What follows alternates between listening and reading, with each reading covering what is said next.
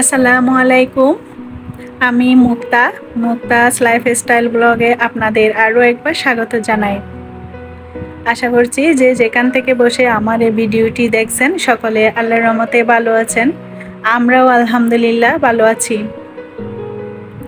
সকালবেলা নাস্তা করার পর আমি সোহাসিয়ামকে নিয়ে একটু বসেছি। ওদের সামনে বার্ষিক পরীক্ষা, টাইমটা ওদেরকে একটু বেশি দিচ্ছি। তো সব বাচ্চাদেরই এক তারিখ থেকে পরীক্ষা শুরু হয়ে যাবে। নভেম্বরের মধ্যে যেহেতু সব পরীক্ষা শেষ হয়ে যাবে, একটু আলে আলে হয়ে যাচ্ছে।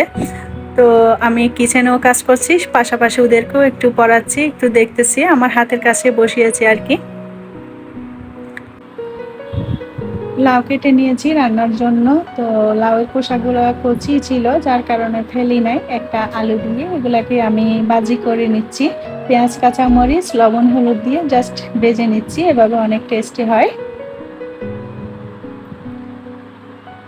আমি এদিক থেকে লাউয়ের জন্য মশলা কষিয়ে নিচ্ছি পেঁয়াজ, আদা, রসুন অল্প অল্প করে।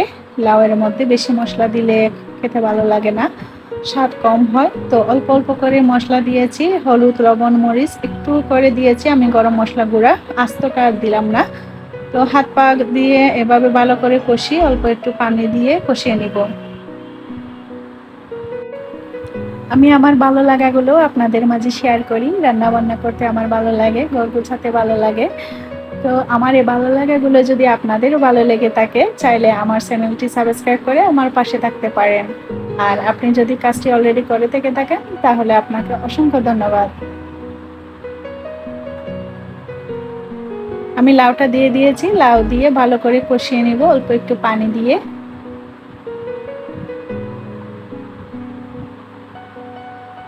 এখন যেহেতু শীতের একটু একটু আমেজ চলে এসেছে, তো লাউ তরকারিটা খেতে কিন্তু বেশ ভালোই লাগে।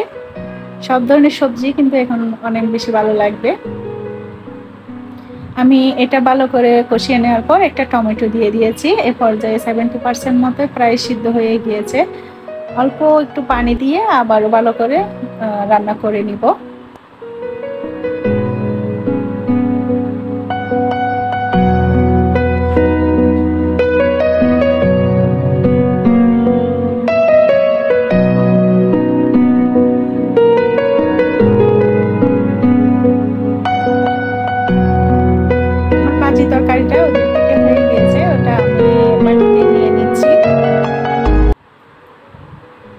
এভাবে লাউ ছিলকা বাজি কিন্তু আমাদের অনেক কাপড়ে করে থাকেন। তো আমি করে ফেললাম, আসলে অনেক মজার হয়।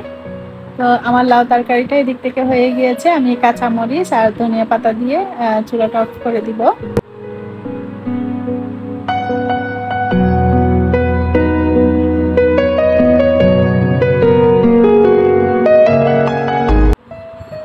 আমি এদিক থেকে মুরগির মাংসের মশলাটা ভালো করে কষিয়ে নিয়েছি। সব ধরনের মশলা দিয়েছি, একটা টমেটো দিয়েছি। ভালো করে কষিয়ে নেওয়ার পর ব্রয়লার মুরগিটা দিয়ে দিব।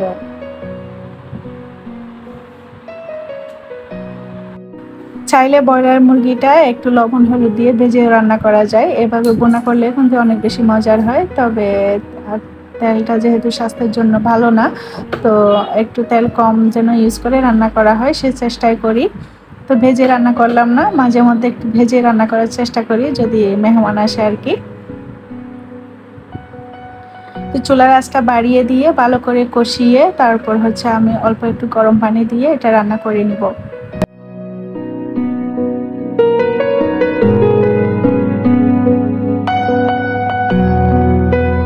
রান্না বান্না এদিক থেকে সব শেষ হয়ে গিয়েছে, আমি বাটিতে এক এক করে সব চার্ভ করে নিচ্ছি।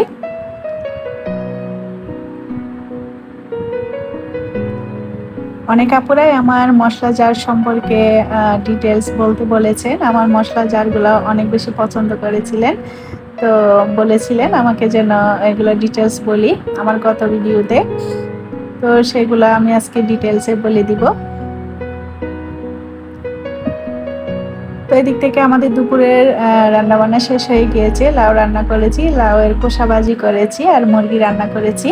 তো আমাদের বাসায় আজকে মেহমান আসবে, আমার শ্বশুর বাড়ি থেকে চট্টগ্রাম থেকে। আমার এক ভাই আর বোন আসবে, তো ওদের জন্য কিছু নাস্তার প্রিপারেশন করে রাখব। ওরা সন্ধ্যায় এসে বাসায় পৌঁছাবে। তো আমি রান্নাবান্না শেষ করি সোহাসে আমাকে একটু আইসক্রিম দিয়ে দিচ্ছি।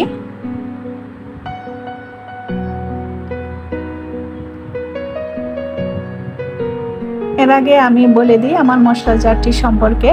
এই মশলা জারটি হচ্ছে ছাঁচের স্ট্যান্ডটা হচ্ছে এস এর তো এই মশলা জারটি আমাকে খুব ভালো সার্ভিস দেয়, ভালো লাগে, এটা ব্যবহার করে দেখতেও সুন্দর। আর হচ্ছে, ব্যবহার করি, অনেক স্বাচ্ছন্দ্য বোধ করি। তো এটা হচ্ছে আমি ঢাকার বসুন্ধরা সিটি থেকে নিয়েছি। এটার দাম নিয়েছিল স্ট্যান্ডটা সহ পনেরোশো টাকা। এটা একটু করে উপর দিয়ে যদি একটু জালিতে সাবান লাগিয়ে একটু দিয়ে নেওয়া হয়, এটা খুব চকচক করে। মেহমানের জন্য কাস্টার ফিটনি রান্না করেছি, নুডলস রান্না করেছি আর ড্রাগন কেটে রাখছি। এগুলো টেবিলে সাজিয়ে রেখে ওরা আস্তে আস্তে আমি একটু আমার কিছু কাজ আছে, এগুলো ছাদে গিয়ে করে আসব। তো আমি এখানে ডেকোরেশনের জন্য আপেল খেজুর আর হচ্ছে আঙ্গুর ছিল বাসায়, এগুলো দিয়ে করে নিচ্ছি। বাসায় যেগুলো থাকে সেগুলো নিয়ে করে নিলেও হবে। আমার ডালিম আর হচ্ছে কলা ছিল না, এগুলো দিলে আর একটু ভালো লাগতো। কালারফুল হতো ডালিম দিলে। তো কাস্টা ফিনিটা অনেক বেশি মজার হয়। রেসিপিটা তাড়াহুড়োর কারণে শেয়ার করা হয়নি।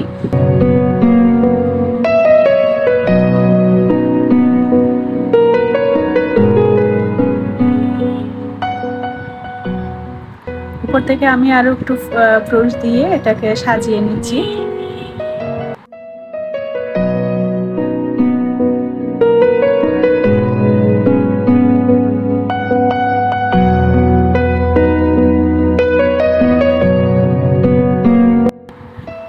টেবিলে নাস্তা রেডি করে রেখে আমি চলে এসেছি সোহাকে নিয়ে ছাদে। তো আমি একটু মেহেদি পাতা তুলতে এসেছি। আমার হাজব্যান্ড হচ্ছে মাথায় মেহেদি দেয়। তো আমিও দিই মাঝে মাঝে, তবে আমার একটু বিরক্ত মনে হয়। তো আমি খুব কমই দিই, উনি হচ্ছে প্রতি সপ্তাহে একবার দেয়। আমাদের সাথে অনেকগুলো মেহেদি গাছ আছে, তো ভরপুর মেহেদি পাতা। তো আমি ওখান থেকে নিতে এসেছি। এখানে অনেক ধরনের ফল আছে। কমলা আছে, ডালিম আছে, আম জলপাই সব কিছুই আছে। ছাদের মধ্যে বিভিন্ন ফল পেকে আছে, পেয়ারা পেকে আছে, কমলা পেকে আছে, পেঁপে পেকে আছে। তো এগুলো আসলে খাওয়ার থেকেও কিন্তু দেখতে খুবই ভালো লাগে। যদিও আমরা কিনে আনি বাজার থেকে, সেগুলোর প্রতি এত বেশি ইন্টারেস্ট হই না। যতটুকু আমরা ছাদের, এই ছোটো ছোটো বলগুলোর প্রতি অনেক বেশি আগ্রহী।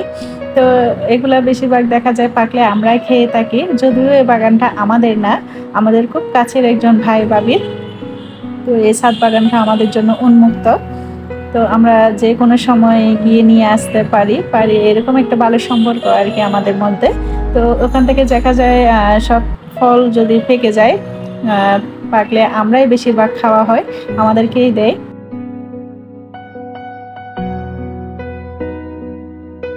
প্রচুর কাটতে হয় আসলে, এগুলার পিছনে টাইম দিতে হয়। ওই ভাইয়া দেখি সারাক্ষণই ছাদের মধ্যে কাজ করতে থাকে, এগুলার পিছনে লেগে থাকে। আর এমনি এমনিতে আর টবের মধ্যে হয় না, অনেক খাটনি আছে এগুলার পিছনে। কামরাঙ্গা গাছে যে ফুল এসেছে, কিছুদিন পর কামরাঙ্গা ধরবে, তবে গাছগুলা কিন্তু অত বেশি ছোট না, মোটামুটি বড় সাইজের হয়েছে। আমরা ধরে আছে, আমরা গাছে দেখতে কিন্তু খুবই সুন্দর লাগছিল।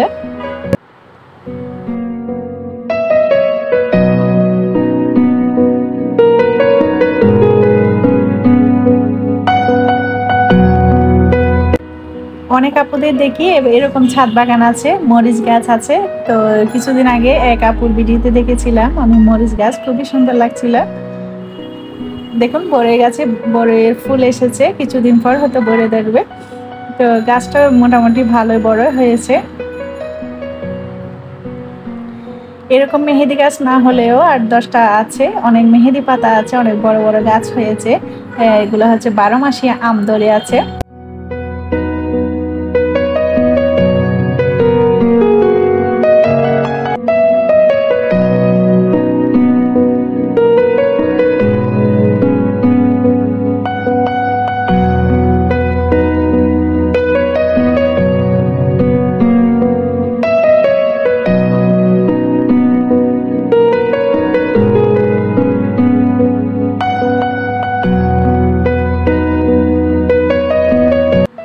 এতদিন মেহেদি পাতা নিতে আসি নাই সংকোচ করে। মানে যতই বলুক, যতই মুক্ত হোক, একটু সংকোচ তো লাগে, অন্যর বাগান যেহেতু। তো দেখি অনেকগুলা পাতা, অনেকগুলা গাছ, আসলে মনে হচ্ছে এটা আমাদের গ্রামের বাড়ি মেহেদি গাছ যেরকম ছিল, ঠিক তেমনই। তো ভাবছি আমরা তো এমনিতে দেখা যায় আটি করে করে বাজার থেকে কিনে আনি অনেক টাকা দিয়ে।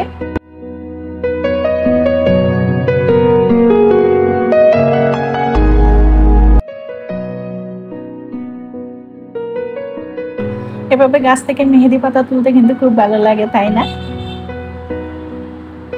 আমার তো বেশ ভালো লাগছিল এভাবে গাছ থেকে মেহেদি পাতা তুলতেছি আর বিভিন্ন ফল দেখতেছি। মনে হচ্ছে আমি কোনো একটা বাগানে ঢুকে গিয়েছি।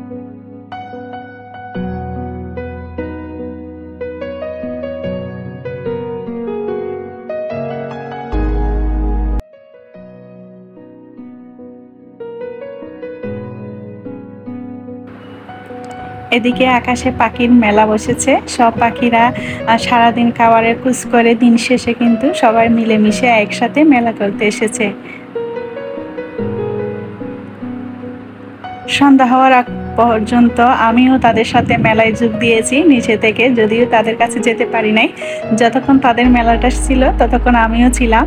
মনে হচ্ছিল আমিও যেন সেই মেলায় গিয়েছি। খুবই ভালো লাগছিল দেখতে।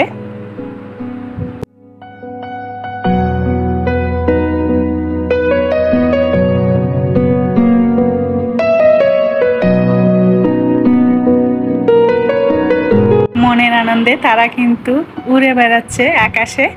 আমারও যদি দুইটা ডানা থাকতো আমিও যদি পাখি হরতে পারতাম। অনেক কিছু মনে হচ্ছিল সেই সময়টাতে। আমিও তাদের সাথে মেলায় যোগ দিতে পারতাম।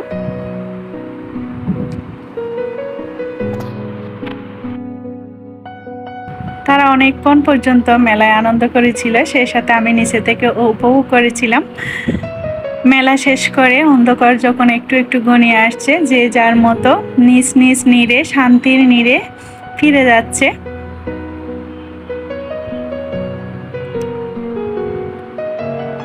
সেই সাথে আমিও ফিরে যাচ্ছি আমার নিরে আমার শান্তির নিরে সেই ছোট্ট নিরে সবাই ভালো থাকবেন, সুস্থ থাকবেন। দেখা হবে আরও একটি নতুন ব্লগে সে পর্যন্ত সবাইকে আল্লাহ হাফেজ। আসসালামু আলাইকুম।